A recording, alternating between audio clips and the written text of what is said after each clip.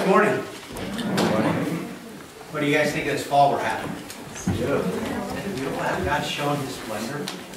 It, it amazes me. You know, you look at it, you see all the colors, and you know, you wake up in the morning and it's nice and crisp, and then it gets hot, and not nearly as hot as it was. And uh, just God's handiwork never ceases to amaze me. Um, I really feel for my family that lives in Houston. That they go from green everywhere to green most everywhere except for what died. And then it just goes back to green. And, You know, they, they don't really have seasons like we have seasons. So I'm, I'm very grateful, I'm blessed that I get to live in Montana. And I tell God God that frequently, thank you for letting me live here. I can't remember where we were, but earlier this week, um, we heard a song that uh, kind of brought back some memories. And it, it got me to thinking. Um, I'm probably going to date myself here, but the song was uh, I Want to Know What Love Is by Journey. And I was with the kids, I thought, oh, this was a great dance song when I was in school. It was nice and slow, and you could really hold on and dance. And you didn't have to do waving your arms and all that silly stuff. You just had to avoid stepping on her toes. And uh, I, I really like the musicality of the song, but the, the words, you know, kind of struck me for the first time. I want to know what love is. And see, we're in Colossians chapter 3. I'm just going to read the, the little snippet to you again. We're, we're still working through this description of what a, a, a Christ-led life looks like. Corinthians, uh, Colossians, sorry, uh, chapter 3, verse 12 says, Put on then as God's chosen ones, holy and beloved, compassionate hearts, kindness, humility, meekness, and patience, bearing with one another, and if one has complaint against another, forgiving each other, as the Lord has forgiven you, so you also must forgive. And above all these, put on love, which binds everything together in perfect harmony. And let the peace of God rule in your hearts, to which indeed you are called in one body, and be thankful. Uh, and we're, ironically enough, we're at the passage that says, uh, above all these, put on love. And so I, I, thinking about this song, I want to know what love is. I just did a, a quick scan, just, just in my brain. I came up with three different songs that the world sings that, that have to do with love. Okay? Journey, I want to know what love is. Can you tell me, can you show me, what is love? And then there's the Beatles. All you need is love. All you need is love, but I don't know what it is. Can somebody show me what it is? But all we need is love. And then you got Tina Turner. What's love got to do with it? and I came to this resounding conclusion. The world has no clue what love is. The world doesn't know. Um, you know, when you fall in love, uh, that's a hormonal response. It'll fade. Trust me, give it about 90 days. Or the first bad fight. It's got nothing to do with how you feel. No, the world bases it on feelings. That's why we've got divorce rates approaching 70%. Oh, we're so in love. We have to get married. Well, I thought you were in love. Not anymore. We fell out of love. Fell out of love. The emotional response is ended. And so, looking at this passage, um, above all these things, now, above what things? All of these characteristics, all of these attributes, all of these things that should be a natural outgrowth of being plugged into the vine through which life flows. Above all of these, put on love. Take on love. Now he's saying this, put on. I think he uses this, this term particularly. I don't think he's just kind of throwing things together here. I think he's telling us we need to take upon ourselves something that is not natural to us. Hear what I'm saying? He's telling us to do something that doesn't come natural to us, that is not endemic to the human nature. Okay? Put on love. What is love? See, the, the title of my message today is What is Love? Because, you know, God speaks quite a bit about love in the, the, the Bible, in the Old and the New Testament. Now, for some of you, you kind of grew up with the same indoctrination that I did, and, and there was the God of judgment that was the Old Testament, and somewhere in the 400 intertestamental period days, he had a change of heart, and he became the God of love in the New Testament. There was a conversion experience somewhere in there, and he became a new God. He softened. That's not the case. See, I was looking it up, and, and it, it's kind of a little bit hard to determine because the English language uses so many different words to convey the same idea of love. We talk about affection, we talk about compassion, we talk about mercy, we talk about charity and, and love and brotherly love. And, and we have a bunch of different ways that are translated. And the nearest I can figure, there's actually about 530 uses of the term that would indicate love in the Old and the New Testament. And they're just about split evenly. Okay? So there's not a God in the Old Testament that is not loving. And a God in the New Testament that is not judging. It's one and the same God. And the judging is every bit as much of a part of him as the loving. And as a matter of fact, the judging is every bit as much of a part of the loving. Do you understand that? See, we have to come to an understanding of what love is because God is love. One of the, the greatest passages that we have, uh, turn with me if you would, uh, 1 John. Actually, don't turn there yet. I want to share something with you. This has really not a lot to do with it. It's just something that I came across in my research, and it just struck me. Okay? Uh, I'm gonna. I'm quoting from a paper that was written um, by the man's name is Farid Mahali, and it's a study of the word love in the Quran. Okay? This is a, a man who, who actually looked at the concept and he looked into the Quran. And this is, this is what he has to say. Um, what is accepted as commonplace in Christianity is a dim reflection in the Quran.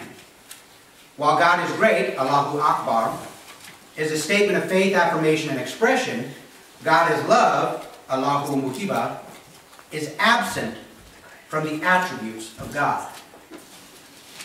In the Quran, you do not see Allah mentioned as God is love.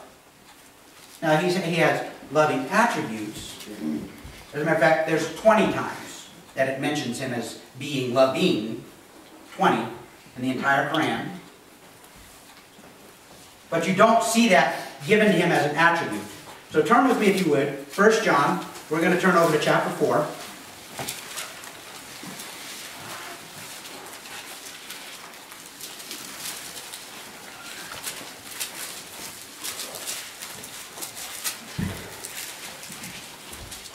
Now, before we start reading, we need to have a firm grasp of what Paul has directed us. Paul being led of God's Spirit, so really, God is directing us.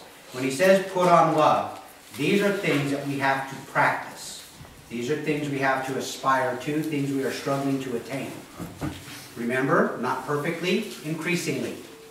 Okay? We are working toward these. Don't use that as an excuse to say, oh, today I didn't work very hard. This year I didn't work very hard. These are things that we are called to be working towards. All right? So 1 John chapter 4, I'm going to start in verse 7. Beloved, let us love one another. For love is from God, and whoever loves has been born of God and knows God. Anyone who does not love does not know God, because God is love. In this, the love of God was made manifest among us, that God sent his Son, his only Son, into the world, so that we might live through him. In this is love, not that we have loved God, but that he loved us and sent his Son to be the propitiation for our sins. Beloved, if God so loved us, we also ought to love one another. No one has ever seen God. If we love one another, God abides in us, and his love is perfected in us. But this is how we know that we abide in him, and he in us, because he has given us his Spirit. And we have seen and testified that the Father has sent his Son to be the Savior of the world. Whoever confesses that Jesus is the Son of God, God abides in him, and he in God. So we have come to know and to believe the love that God has for us. God is love, and whoever abides in love abides in God, and God abides in him. I wonder how an English teacher would grade that. but this is love perfected with us, so that we may have confidence for the day of judgment, because he is so also, because he is, ah, let me try this again. Because as he is, so also are we in this world. There is no fear in love, but perfect love casts out fear. For fear has to do with punishment, and whoever fears has not been perfected in love. We love because he first loved us. If anyone says, I love God, and hates his brother, he is a liar. For he who does not love his brother, whom he cannot, whom he has seen, cannot love God, whom he has not. And this commandment we have in him, whoever loves God must also love his brother. I don't know if you're counting, but by my count, there were 27 uses of the word love in that passage. 7 to 21, 14 verses. Why do we love? Why? Well, uh, let's make it easy, because he told us to. Okay? Can we love apart from God? No. See, when I, when I said the world has no clue, they don't understand, they don't get it. I'm not speaking just out of my own personal observation, although I have a lot of observation that would indicate that. I'm speaking from God's Word. If the world does not have God, how can they know love? How can they even comprehend what love is? See, we have a perfect illustration, a perfect example given to us. God loved us so much that He sent His only Son. I don't know why. You know, if God had 13 sons and He sent one, would it have made the value any less? No, because He still died on my part. But He only had one. And that's the one He sent. God sent His only Son. That's the example that we have. But He doesn't end there. We don't, because the world can look at that example too. But love doesn't blossom in them. What's different about us and them? We have been sealed with His Spirit. His Spirit is what makes us uniquely different than them. Not the fact we go to church, not the fact we have 15 Bibles in various translations, not the fact that we frequent conservative or, or uh, Bible websites, not the fact that we have a daily bread that we pick up and read, not the fact that we listen to certain things on the radio. Those all are, are idiosyncrasies. But what makes us different is God's Spirit is living in us. The Spirit of the living God is in us. And when He comes in us, He brings a whole range of things that they don't have. Back to Galatians. Look at Galatians chapter 5. What is the fruit of God's Spirit? Love, joy, peace, patience, kindness, goodness, faithfulness, gentleness, self-control. And that's not an exclusive, an inclusive, all-inclusive list. That's just kind of random samplings of the list. These are things that God's Spirit births in us when He comes in. All right? Remember the fruit buds, flowers, and then the fruit, and then the fruit grows heavy, and, and some of us are just budding in areas, and others are flowering, and others have really nice fruit. Some of us are just waiting for the fruit to appear. Some of us are posing fruit. We got wax fruit. We, we bring it out, we trot it out when it's appropriate to trot it out, and, and we put it back all dusty and nasty when it, we can go back to doing what we want to do.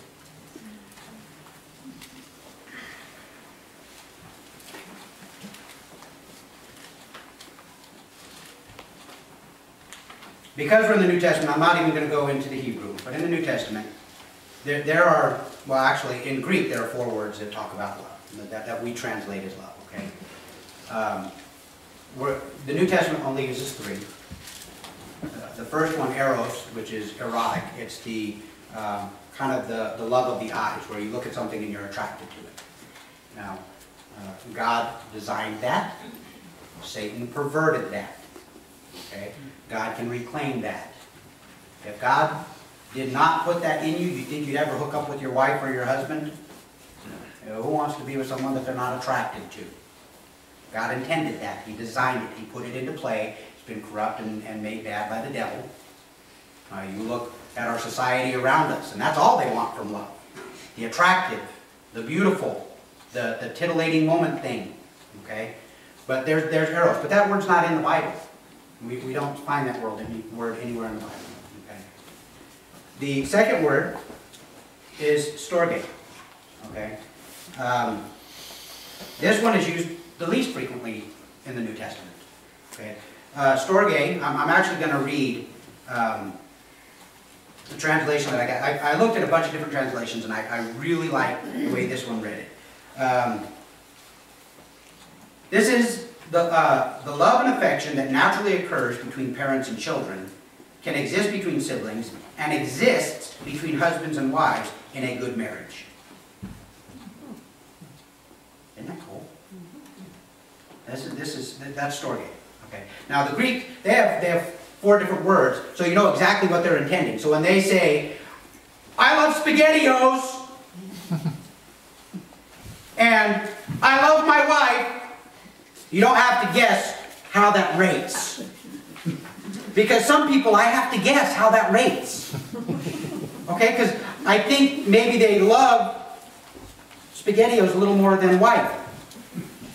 Because they pursue it passionately.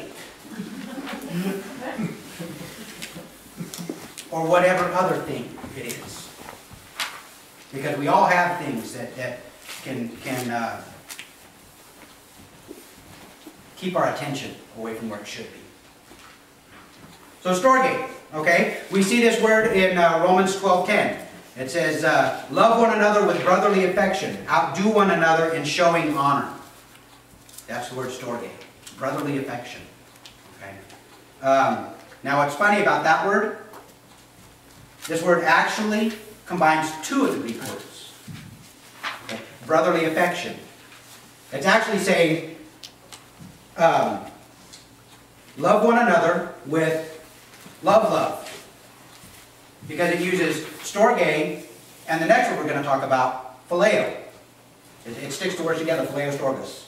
Okay? So what it says is, love one another with some kind of love that you love your brother with. And phileo, I'm going to read it, another description just so we, we kind of can separate the two. This is, this is to have a special interest in someone or something, frequently the focus of close associations. To have affection for, to like, to consider someone a friend. That's kind of how you like SpaghettiOs. Okay? Not your wife. Although, this word we see used in a couple different places that is significant. This is kind of cool. Remember when Jesus was talking with Peter after the resurrection? Three times he asked Peter, do you love me? Okay, now in the English, we don't really get this. Okay, because we see Jesus saying, Peter, do you love me? Peter says, yeah, of course I love you. Feed my sheep. Peter, do you love me? You know I love you, Lord. Feed my sheep. Peter, do you love me? Oh, God. Jesus, you know I love you. Feed my sheep. But what we don't see is the interplay that's going on in the Greek. Because see, when Jesus says, do you love me? He says, do you agape me? We're going to talk about agape in a moment. And Peter responds, Lord, I phileo you. Jesus says, Peter, do you agape me? Says, Lord, you know I phileo you. And the third time Jesus says, Hey Peter, do you phileo me? And Peter being saddened because Jesus has reduced the value of love to another tier. He brought it down, and Peter, being sad, says, Yes, Lord, I phileo you. So, this, this kind of special interest and affection for a liking to. Now, interestingly enough, there's another place that this word is, is used. And that's in Titus chapter 2. Flip there with me if you would, Titus chapter 2. So we're going to talk about this in a couple of weeks, but I want to touch on it tonight, today, wherever we are.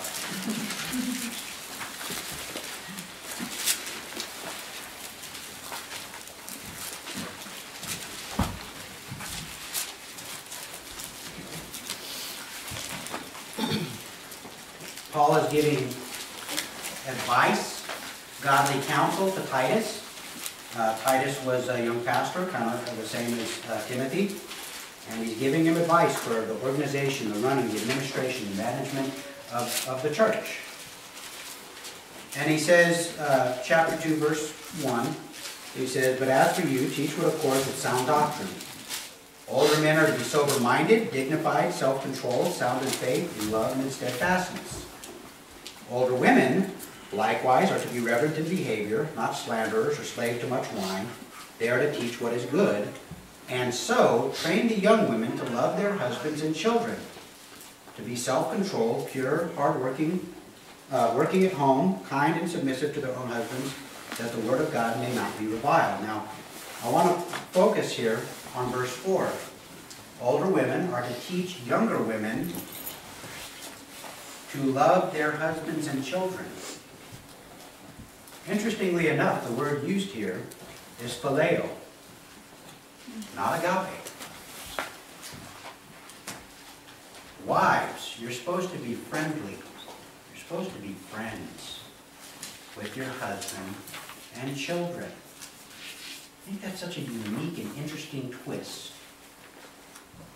You know, in our, our love and respect class, we teach that God has by design placed in women an unconditional love for their families. That's, that's why moms get up in the middle of the night to go to the kid that's being sick. That's why, you know, they get up a little bit early to make sure that the ironing's done. They go through all the hassle to make food that the kids go, ew, yuck, you know. And they keep doing it, and they keep doing it. That's, that's the nature of what God has placed in moms. But Paul needs, says that they need to be reminded, you also have to be friendly. You have to be their friend. Okay? So we're going to go to the fourth type of love. And this is the love that is only ever used to refer to the kind of love that God has for people. Okay? And this is agape. So agape is the very nature of God. Now when we were in 1 John chapter 4, every time he referenced the word love, it was agape. Agape. Agape. Agape. There are no preset conditions on love when it's agape. You love them because you love them because you love them because you love them. That's it. Okay? So when he goes through and he says, I'm gonna I'm gonna back up. I want to read this again with this understanding. Okay?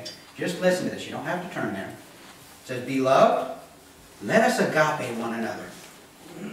Let us love one another in such a way that there are no preset conditions so that I don't love you just because of what you have done for me or what you can do for me. I love you because I love you. And whoever, uh, for agape, is from God. And whoever agapes has been born of God and knows God. Anyone who does not agape does not know God because God is agape. In this, the agape of God was made manifest among us, and so on and so forth. See, the unconditional love that we are required to have only comes from Him. Now, I'm going to go back and I'm going to change my original statement a little bit. Because, see, I said that the world doesn't know love, and, and that's really not true. What I should have said is the world does not know agape. Okay? But because we only have one word for love, love means a whole wide spectrum of things. And we can't really, in the English language, we don't classify it. That's why I love my dog and I love my kid. And it's the same word. But if I had to choose between the two of them, don't put me to the test. because we would have to get rid of our dogs. You know? We, we throw this word about, we bandy it about, and we've stripped away from it all its meaning and all of its power. Think about this for a moment. I don't know if they still do it today, but every Valentine's Day, you had to sit down in elementary school and write out Valentine's cards to all the kids in your class. Really? Hey, Ralph. you know, Ralph that gave me a black eye last week? Hey, man, be my Valentine. I love you, heart, heart, heart, heart. really? Hmm.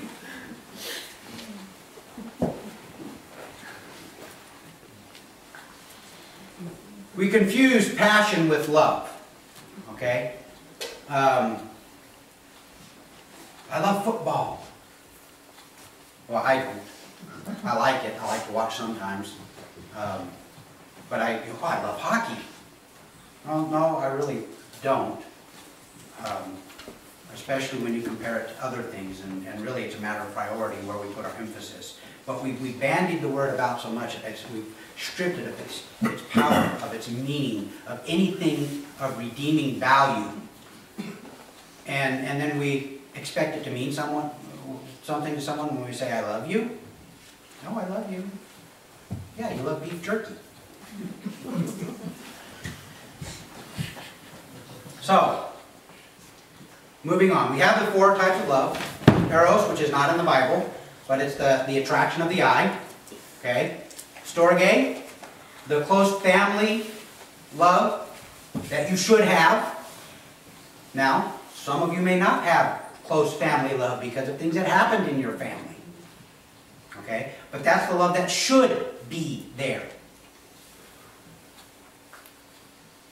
Phileo, the, the affection, the liking. Philadelphia. Did you guys know that that was just a Greek word? You know Greek? Philadelphia. What is Philadelphia? What is the motto of the city? What, what is it known for? Brotherly love. Brotherly love. Phileo, Delphia. Love, brother. It's the city of brotherly love. There you go, Greek. Cheese sticks. That's right. Cheese sticks. Leave it to the guy that cooks to know about the food. so, phileo, and then agape. Okay? God is agape, agapeo. He is love. It's not just affection that can go, you know, when um, they do something you don't like, or they root for a team you don't like, and so you can't sit in the same room. You know, it's, it's not storge that can be broken by things that happen in life. And it's not eros that can disappear when wrinkles show up. Okay? It's unconditional, unqualified. It's based on the giver, not on the receiver. Okay? So, God is love. Okay? He was love from the beginning. And I say the beginning because it was our beginning, not his. He is without end. He's eternal. He always has been and always will be. So whenever we talk about the beginning, know, remember in, in Genesis 1 it says, in the beginning, that's referring to us, not him. Because he's already there. He had to be there to give us a beginning. So in the beginning, God was love. Okay? There was, all through the Old Testament, God is love. Think about this for a minute. When Jesus sat with the Pharisee, in the middle of the night, because the Pharisee was afraid to come to him in the day, and they're talking, he says, uh, what are the two greatest commandments? Well, let's see, you don't have any other gods before me, that'd be important. Probably shouldn't murder, that, that's usually important. Uh, yeah, uh, well, honor your mother and father, that's, that's a good one. And no, what did he say? What, what were the two things that he said? Love the Lord your God. Love the Lord your God with all your heart, soul, strength, and mind. And Love your neighbor as yourself. the second is like unto the first. That's a parallel, okay? They move together, all right? So you can't, you can't say, oh, I love God like this, but I only love my neighbor, neighbor like that. No, like unto, like unto, okay? Well, the way that you love God, the affection and the feelings, the, the, the revelation you have toward God should be the same that you have toward your neighbor. Whether that be the same people in your house, the people next door, the people in your community, okay? That's the kind of love that we are called to have. Okay, so this was just a quote from the Old Testament, directing us to love. All of the law hinges on these two commands. All the law and the prophets. So everything in the Old Testament hinges on these two things. Love God, love your neighbors. Well, somebody got smart and said, oh, oh yeah, who's my neighbor? Oh, Because here we're going to open a can of worms. Who do we love? Actually, I'm going to make it easy for you. Who do we not love?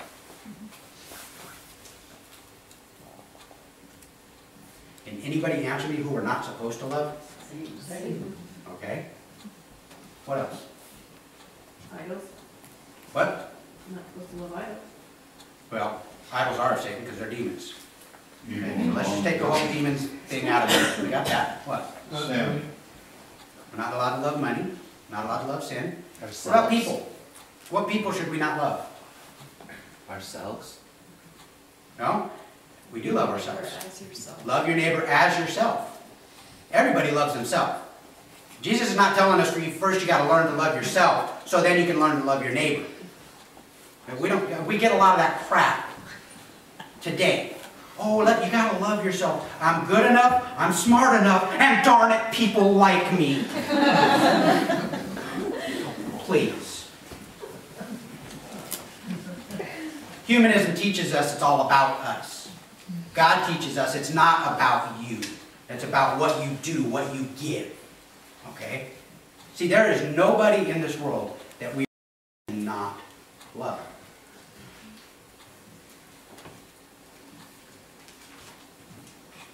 So, let, us go over to uh, Matthew chapter 5, real quick.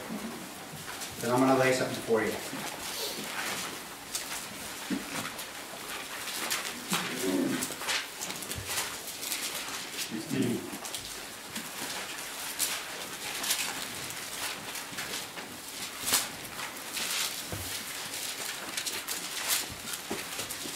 is teaching the, Sermon on the Mount. He's laying out a number of things before the people, and actually things that are hard for them. Because he's running contrary to a lot of the teachings that they've been receiving probably their entire lives, probably for generations. Okay? And he's laying out stuff that is the truth of God's Word, but it's not the truth of what their culture has taught them. So in verse 43, he says, You have heard it said, You shall love your neighbor and hate your enemies. See, he's laying down the condition right here. This is what you have been hearing. This is what you have been taught. Okay? Love your neighbor, but hate your enemy. But I say to you, love your enemies and pray for those who persecute you. Okay, that's hard right there, but look at what he qualifies this with. So that you may be sons of your Father who is in heaven. Do you see that? Now think about this for a minute.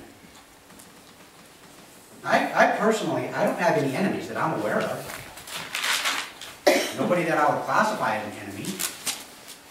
But, but let's, let's look at this kind of in the broader thing. What about Osama bin Laden? I don't think there was a lot of love for him, at least not in America, 9-11.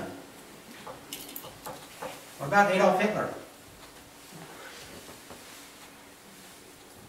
You think Jesus was unaware of what was coming when he said, love your enemies?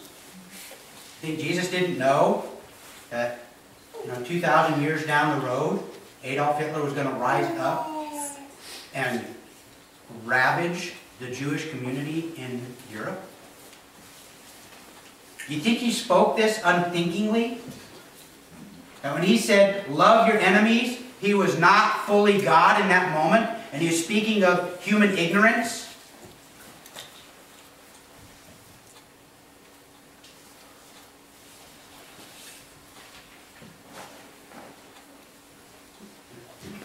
See, as humans, we're so very easy to classify and quantify and put in these cute little boxes how things should work. But as God, He finds it so easy to shatter those boxes. He doesn't want us stuck in a little box. He wants us to be a light that shines out into the world. Quit putting the bushel over your, your life. He says, love your enemies and pray for those who persecute you. Now, quite honestly, I was offended when the towers went down at 9 11. I was angry. But I was not persecuted. I wasn't in the towers. Quite honestly, you think any of those, those terrorists that were on the planes knew anybody that was in the building? No. It wasn't a personal persecution, it was a political statement. Okay? But he says, pray for those who persecute you. Now he's made it personal. So that you may be sons of your Father who is in heaven. For he makes his sun to rise on the evil and on the good, and sends rain on the just and on the unjust. Now, listen to this. Let's follow this thought through. Let's see where Jesus is going. For if you love those who love you, what reward do you have? Do not even the tax collectors do the same?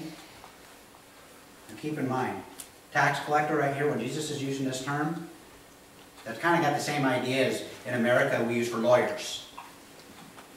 You kind of wrinkle your nose, you know, say, oh, lawyer. Yeah. Tax collector, is probably even worse, because they, they, well, were Jews that accepted the Roman domination and actually sided with the Romans in, in taking money from the Jews and, and pulling away from their own countrymen. So they're, they're traitors. And he says, uh, don't even the tax collectors do the same? Don't even the lowest of the low do the same? And if you greet only your brothers, what more are you doing than the others? Do not even the Gentiles do the same? You therefore must be perfect as your heavenly Father is perfect. Now, we don't like to talk about that passage, especially that last verse in the church, because then there's this whole thing, oh, you know, it, it becomes work-based, and we're trying to do it in and of ourselves, and no, that, we're not going there. That's not what it's about. Okay? Where is it that we get our perfection from? Christ. Christ. I mean, if we could get it any other way, there would be no need for the cross. There would be no need for him to come, to die in my place, that his blood would be imputed to me for righteousness' sake. Okay? Now, does that mean that we don't do works? No, it doesn't. And we flip back to Ephesians chapter 2, and it says that we may do the works prepared in advance for us. Right? Are the works unto salvation? No, they're because of salvation. They're, they're, they don't grant me eternal life. I do them because I've been granted eternal life. You know, we, we put the cart before the horse. No, it belongs behind, so the horse can see where it's going and it can drive the way it's supposed to. We do the works because of the salvation. Now, being perfect, to be perfect, you got to have salvation. you got to have God's blood, Jesus' blood, poured over your life. That's the only way you're ever going to be perfect. So, but there are things that we can do. And you claim to be perfect and hate your brother. No. Let's go back to 1 John chapter 4. Don't turn there. Says, if anyone claims to love God and yet hates his brother, you're a liar. Now you got two sins. Because you cannot claim to love God whom you have not seen and yet hate your brother whom you have. Okay? But let's go beyond that. There's actually I, will share something with you. Um, When I was a teenager, I have a a brother that's 15 months older than I am, and we used to fight all the time. Okay, I've told you guys about that before. But at one point, um, when I was getting really serious about my faith in my teenage years, I spent a lot of time studying the Word, and every time I came a passage about how to treat with your brother, I underlined it and I marked it with TLVN, brother's initials. And so every time I read the scripture, it would remind me, is, is your attitude right? Are you treating him right? Are you doing what you are supposed to be doing? Because I, could have gone through and I could have underlined it and showed it to him while I was ducking. You are supposed to be, this is here. But that's not what this is for. Okay? All too often, we want to read this for other people. God didn't write it for other people, He wrote it for you. You is you and you and you and you and you and you and me. So when I'm reading it, the application is to me first. Then when I get all of the splinters and two by fours and planks and everything out of my eye, I'll be in heaven and I'm not going to worry about anything going on here. Okay? The same thing goes for you. So, who do we love? Everyone. Now, there's one other condition here that I want to share with you. I want to share with you. Um, John 13, don't, don't turn there, I'll just read it for you. John 13, verses 34 and 35. Jesus is speaking, he says, A new commandment I give to you, that you love one another just as I have loved you, you also are to love one another. How did he love them? Uh-huh. No greater love does any man have than this, but that he lay down his life for his friend. Okay? And this is the example that he set. Okay? But, but think about this for a minute. He didn't just lay down his life when he went to the cross. He laid down his life in the entirety of his ministry. Okay? Think about this. He stayed up all night, uh, healing and preaching and ministering. It says he was up all night. Okay? And then early in the morning, he got up and he went up on the mountainside to pray. He needed alone time. Me time. You know what me time is? Me time is when you get alone with God, not when you pamper yourself. There's nothing about pampering yourself in the Bible. I can't find it. So when people go, oh, I need a little me time, I'm assuming that it means you're getting in your prayer closet. Because that's the me time that's laid out for us. He got up by himself. He went up by himself into the wilderness, meaning that there were no people around, and he prayed. All right, he's getting refreshed. The disciples show up. Oh, Jesus, what are you doing up here? Now we got people down there. there. There's work to be done. There's entertainment to provide. We got them now. We got them eating out of the palm of our hand. We got to make, strike while the iron's hot. We got to get back down there. What does Jesus do? Hey, hey, hey, I'm in my me time. You guys, give me some time. Give me some time. Me time. No, what does he do? No, just for this reason I come. Let's go down. We're going to go to the other villages. We're going to teach there too. For this reason have I come. I'm going to go. The entire time that Jesus ministered, he was laying down his life. Okay? Greater love has no man than that he lay down his life for his friend. So, he says, A new commandment I'm giving you, that you love one another, as I have loved you. So, how do we love each other? Well, first we got to understand how Jesus loved them and how he loves us. No, I'm not expecting that any of you are going to go to a cross for me. I hope you're not expecting that of me. Laying down our lives is the day in and the day out, the daily grind, where we are constantly thinking of others before ourselves. Okay? Remember we talked a couple weeks ago, does God expect us to control our thoughts? Absolutely. You betcha. Matter of fact, he does it such that it's kind of taken for granted that we will do it. So,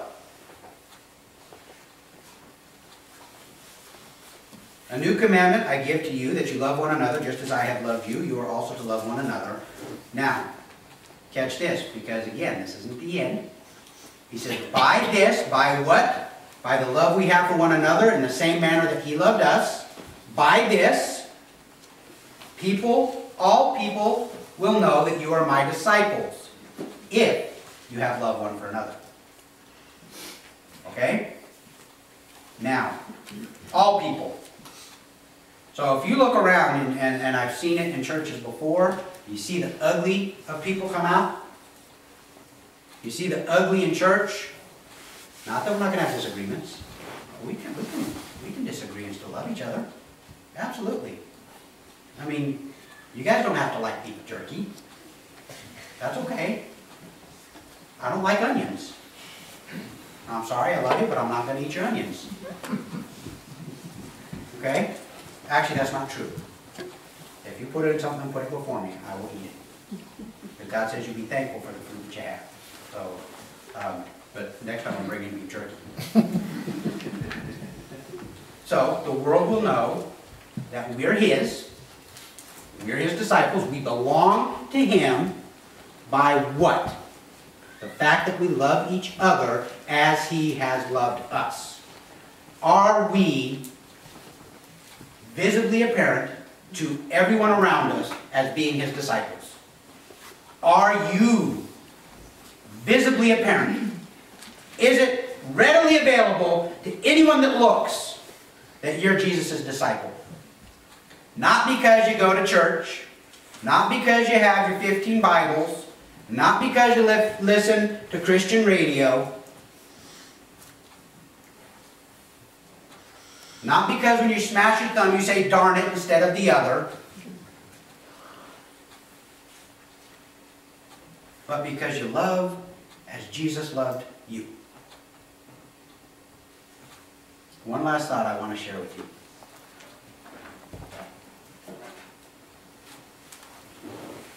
Love is a verb. It's an action word.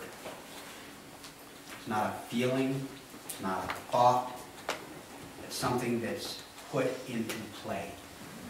It's something that's worked at and it's done, it's operated on, and according to Scripture, needs to be operated on daily, minutely, secondly.